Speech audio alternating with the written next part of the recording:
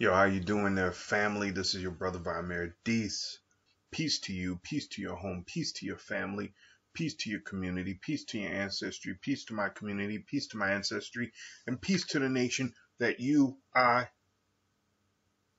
and they are creating. Peace also to the Godic forces, to the Great Spirit above, to the Mother Earth below. May we all come together at this moment in time and prepare the way forward for our journeys. I don't know if I'll always use that, but I like it. I also asked if uh, we all could come together now and prepare for the defense of our lives because we are going to need it. I have heard, um, I, I follow many YouTube channels, and most of those channels, you know, if I'm to be honest, deal in the realm of person to person relationships. All of them, just about all of them, claim to deal with racism, white supremacy in some way, and many of them do, in fact, deal with racism, white supremacy. However, there is one area that most of them are lacking. And that um, allow me first to say this before I talk about that area. Uh, we have been stuck for some time, I think, as uh, black people. We are not yet a community, but we are a people. And we have been stuck in this notion that if we deal with culture then all of our problems will, will be solved. Well, the reality is our culture has been hijacked and we have done very little to prevent it from being hijacked. Um, I was thinking some time ago how odd it is presently that we as black folks have never made more music and yet we as black folks have never made less relevant music in our lives we are starving for true authorship in the realm of music. And I never thought that I'd have to say that. More, what also struck me as odd is most of the music that we make is one on one. One person makes the instrumental, another person lays down all of the words. And yet we live in an age where instruments have never been this cheap. If in the 1970s, black people could have purchased uh, instruments at the price that they can purchase instruments today, you would have had a thousand Earth, Wind, and Fires making music of that caliber because the strength of our souls was so prevalent and present in everything that we did that if you gave these type of sources, not resources, but sources of inspiration and creativity to those people, we would have had music the likes of which we we'd still not have enough time to enjoy that much much music. We have been placed into a coma. we have been placed into a horrifying coma. And we don't even know that we're in it. We're walking around dead. That is how bad we uh, of a situation we are in presently. And it's not because we have chose to per se. There is choice somewhat. Uh, it is because we have been manipulated into that position. I believe it was uh, Minister Farrakhan years ago who said, uh, white people are in the business of mind control. And that is the truth. They have studied you as a black man, woman, or child. more than you even know and could ever know. And what they have done with that information is to control you. We cannot just look at culture though. The area and, and culture has meant many different things for black people. This has has covered history. This has covered um, our music, our dress, our hairstyle, the way we walk, the way we talk. It has been very well uh, design, uh, defined. But the one area that we tend to run from and we tend to move away from very rapidly is an area that presents us with the greatest challenge presently, and that is uh, the area of politics. Now, give me a moment, and I'm going to continue this in one second. I'm here today because the ancestors told me that I need to talk to you about some of this stuff that's been going on that we are not talking about. Racism, white supremacy is imploding.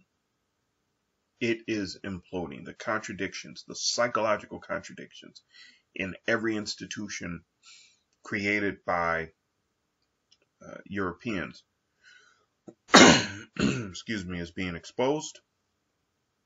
And those contra- contradictions, not only in the institutions, but in the people also, are causing violent shockwaves to run through everything that was created over these past 600 years. And those shock waves are testing the limits of everything and destroying much of it. What is so important about this for black people particularly is the United States of America is in real danger of ceasing to be what it has been stable. Nothing more than that. Stable. There's a truth that many people don't want to admit. So many uh, commentators that I listen to talk about the American empire, but very few of them want to admit the fact of why the Americas, uh, the Americans have their empire. Their empire is to extract wealth from other places and bring it here.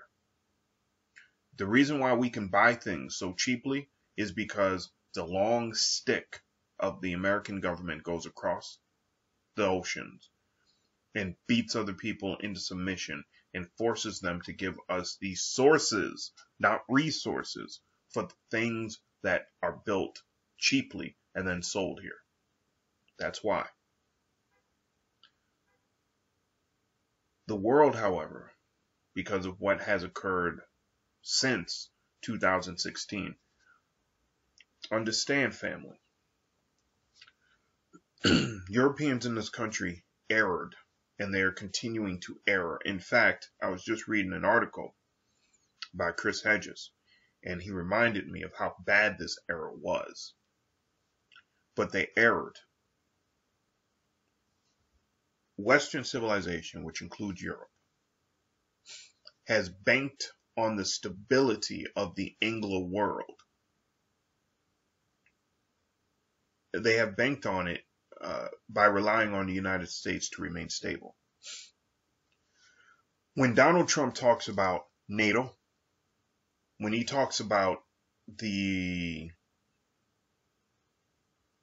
European states not paying their fair share, what he is essentially telling you, not really essentially, he is telling you, is that the United States military maintains the global uh, hegemony the global control system for all of Europe and the Anglo world. That includes Canada, that includes uh, Australia, that includes any place where white people are trying to hold power, even though they are not the majority. The United States controls the world so that the Anglo portion of the world the European portion of the world can can thrive. Now, it's important that we understand thriving and flourishing are two different things. Most of your people who are under the hegemonic, the control of the European world order would love it if the world flourished. That is companionship, cooperativeness. That is the idea of camaraderie, of working together to build something great. Whereas the Anglo world, and now even partly the Asian world, wants the world, wants themselves to thrive.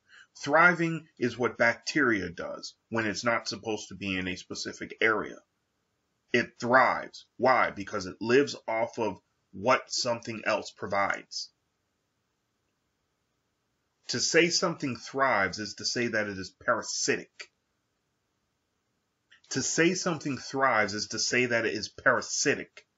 And I'm not being hyperbolic. I'm not being uh, extreme when I say this. I'm literally telling you, you look at the definition and you compare it to a parasite, and that is exactly what you get. That's why in this in this economic order they always talk about things thriving. The world, because of what was done in 2016, the world is is realizing that the United States is unstable. That the psychological contradictions in this country have led the United States to a brink of uh, to the brink of of shattering the psychological health of this country is fragmented dramatically in the United States, which has always been a schizophrenic country, but it was a tolerable uh, schizophrenic state. The United States, which has always been schizophrenic to some degree, is now having a full blown psychiatric or or psychotic uh, uh, there's a word that I can't remember right now, but um, they're having a full psychotic episode where they have completely broken from reality. And particularly, the elite have broken from reality and are now in a process of twirling to the point where they're starting to destroy each other. The stability, the stability of the United States, States is now threatened. The world is seeing this. I read an article back in 2017, shortly after Trump assumed office. Uh, it was in the German magazine uh, Der Spiegel, which has a German edition and an English edition. And in the German edition, the the individual writing it suggested that it is time for Germany to rise and to basically assume mantle of control over Europe. In other words, and if you trace, which I know most of us aren't, because again, too many black people who are talking about culture have their eyes on the wrong thing. You want to talk about a black agenda? Anyway, um, the essentially what Germany is doing, if you trace what they've been doing since that occurred, since that was written, they have been uh, gathering, uh, consolidating their power in Europe to be able to possibly execute a takeover of the of the EU. I don't know if that's going to happen. I'm not predicting it's going to happen. But Germany is by far the strongest economy in Europe, or so I hear. What essentially though was being said and what has been continuously communicated, especially if you look into the number of, of uh, countries that are dropping the United States dollar in oil uh, uh, transfers. So when they buy, when usually when a country buys oil, they pay in dollars. Many countries are dropping that, including Iran, there's been hints that Russia's going to be doing it. There's been hints that China's going to be doing it. There's been hints that um, Saudi Arabia, uh, not Saudi Arabia, uh, there was another one. I think it's Turkey. And now even the EU is starting to examine whether or not they'll use U.S. dollars for um, uh, buying uh, oil. What does this mean? What does this mean? For black people, this means something very, very specific. One second.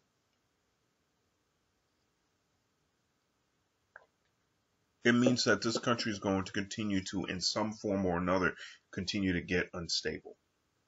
Now, it is not likely that the country is going to, you know, in two days or a month or three months or five months fall apart. But considering where this is likely heading, the United States may not end up being a uh, being the country uh, with the most money in in other countries' reserves. Right now, the U.S. dollar is the international reserve uh, currency. So countries keep the United States reserve, uh, excuse me, United States dollars as the reserve currency, which helps keep this, the dollar stable. However, that may be on the outs. So then the only thing that will help the United States government is the level of debt that's out there as long as people want to hold it. And as long as it's profitable to hold it, countries will hold it. Black people cannot wait to see if that's going to turn out right. We need to start planning for the time when things are going to get rough. We're looking to the government to have a black agenda. We need to understand, man, the United States government is being held hostage by corporations and international uh, res- resolutions and treaties and stuff that we really have no clue about. We as black people need to stop playing and we need to start preparing for the day when we may not be able to count on the United States government giving us the kind of protection that we need. Now, the ancestors tell me, understand, because we've been on, we've been reading sort of the history of the Black Panthers a little bit wrong the Black Panthers was stopped not because they were necessarily revolutionary. It was because they were self-actual, uh, yeah, self-actualizing people.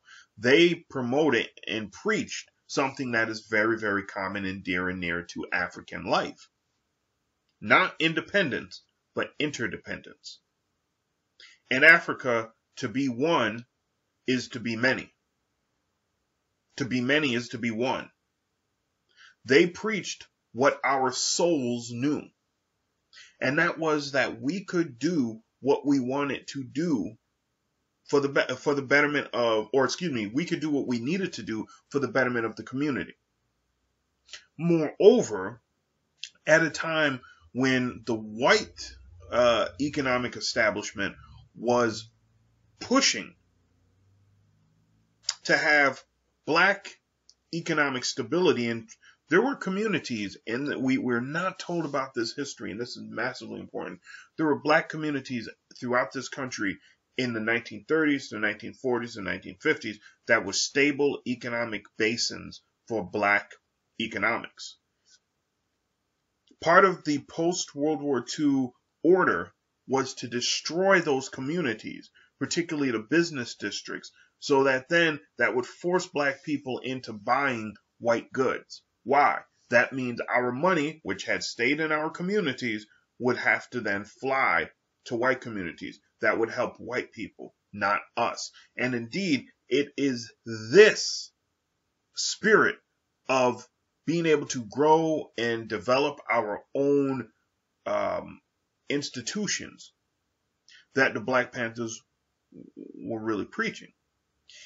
And that was dangerous because we had demonstrated at least three times since uh, we were supposedly emancipated that we could build, rebuild, and re-rebuild what was destroyed.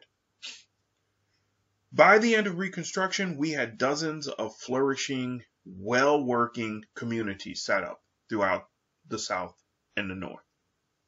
Very, just like that. Boom.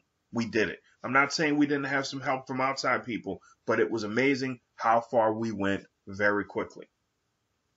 And then even though many of those things were destroyed in the, you know, decade or so after Reconstruction, we then rebuilt them again.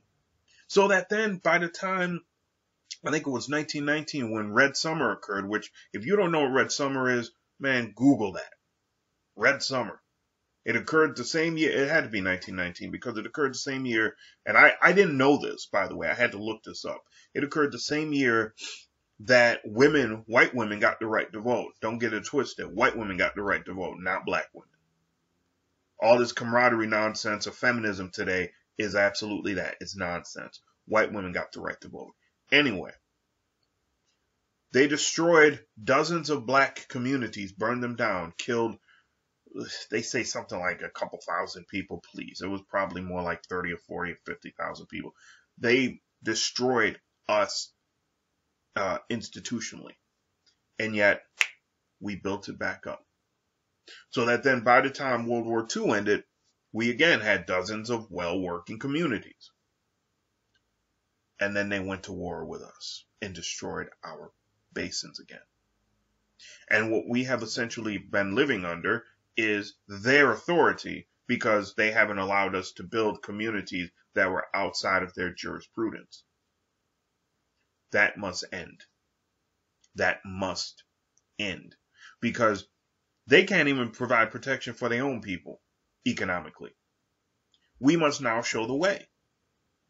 So now, instead of spending our time looking at celebrities and, and becoming goo goo gaga about celebrities and what's going on with them, you know, it has its place. It can be fun sometimes, but it's time to get serious. It's time to really get serious. For those of you who play sports, let me tell you about being serious. There is a psychology, uh, um, a discipline of psychology that is associated with sports. And you can actually take that discipline and apply it to real world stuff. In other words, you can discover why it is that you're so good with sports because it's not just about playing sports. It's mental. It's constructive. You can do things in the real world with what you are doing in sports. That type of mentality, that toughness of mind to go into sports and, and into the sports arena and compete. That talks about a toughness of soul that is, man, it's needed to build our community. But most of you don't know about that. Sports psychology, look it up. Sports psychology, look it up. You have children, you have nieces, nephews who play sports young. Get them young. Get them into sports psychology now. Get them into the idea of melding the mind and the body and what you can actually accomplish with that because we are powerful when we do that and we must do it. Not because we hate white people, not because we want to show off white people, not because of white people.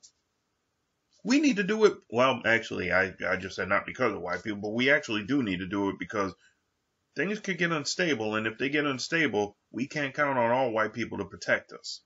We need to have our own communities.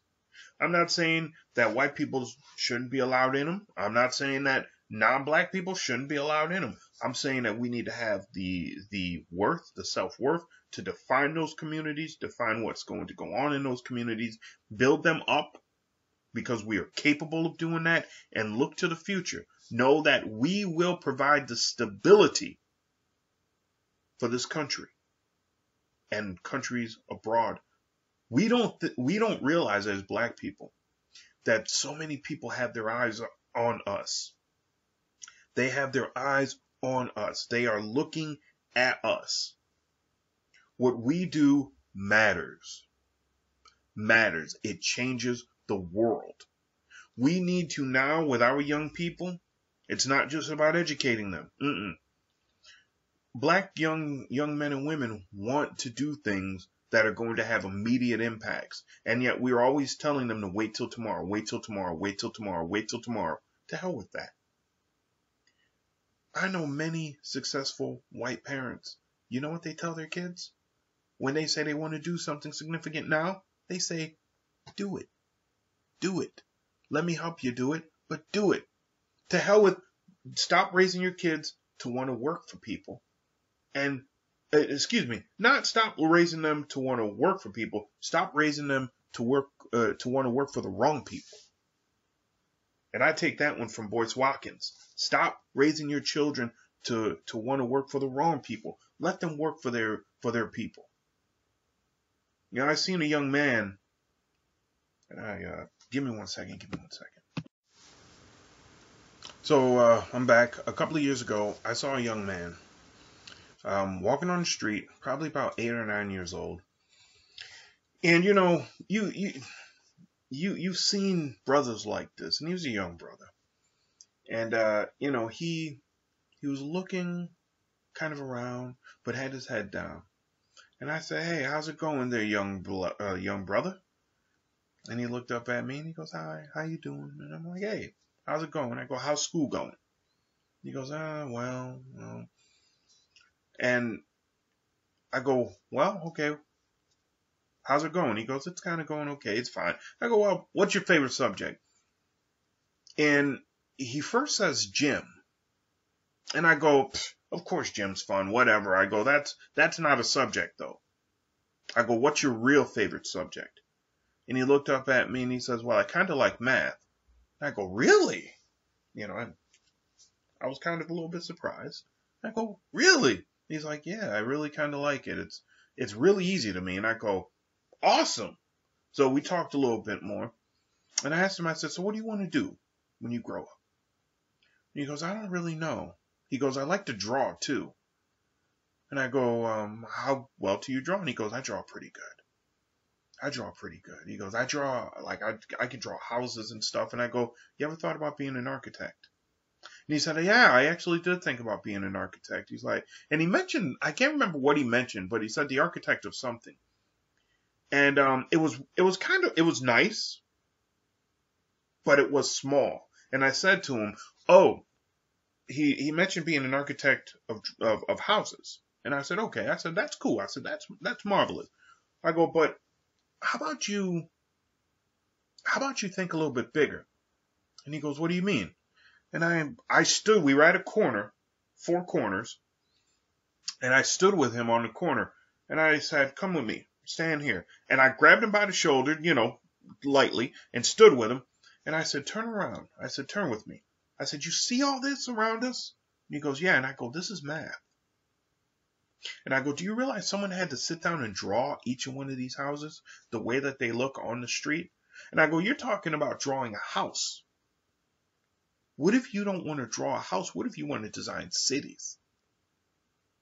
And he goes, you can do that? I go, absolutely. So they pay people millions of dollars to design cities.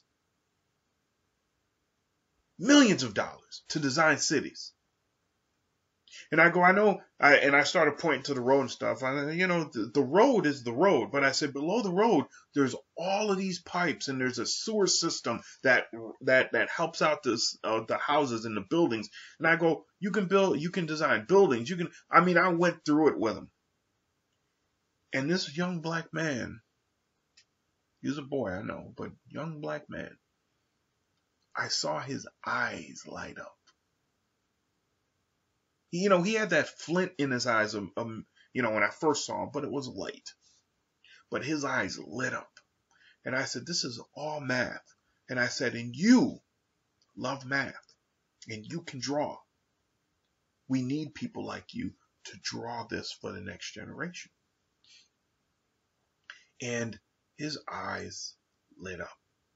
And he goes, I can really draw all this. And I said, You can draw it. I said, It'll take time, but you can do it. So why not do it? And he walked away, and I walked away. But that young man knew that his life was in his hands. And this is what we must do. One more story. I saw two young ladies just about to graduate from um, high school. I saw him. It was a hot day, hot day, just absolutely hot. It was like 90 something degrees. You could literally like see steam coming off the, it was crazy. Anyway, so I was walking down to catch the bus and there's two ladies. And you know, you, you, you've seen, you've seen this before where you walk up on a couple of black folks and you can automatically tell which one has their stuff together and which one is kind of just floating. So I was talking to the both of them and uh, they were both going to nursing uh, to to a nursing program to become a nurse. And talking to the one, I could tell that like her mind was it, it was beyond where she even I think recognizes it to be.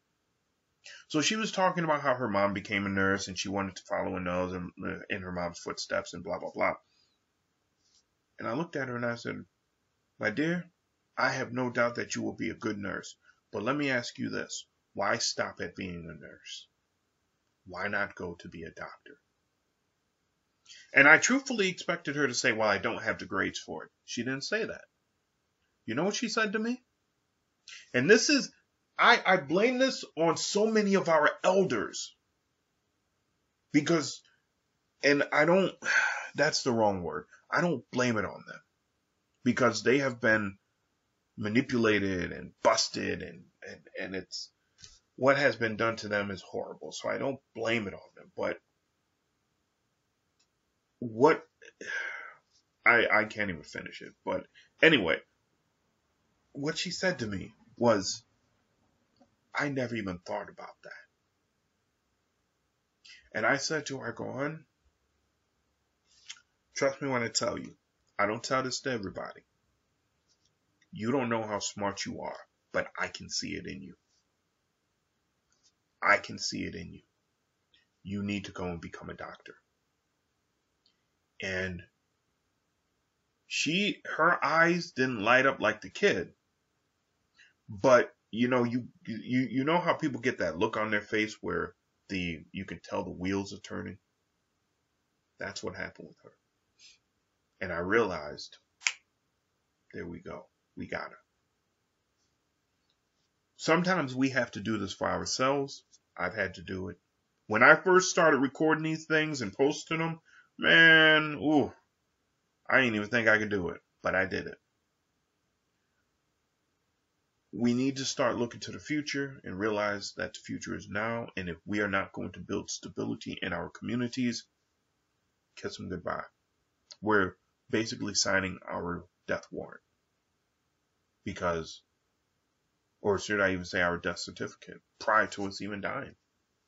Because the country is likely to get more unstable. All right, you guys. Um, questions, comments, concerns, let me know. Peace to you all.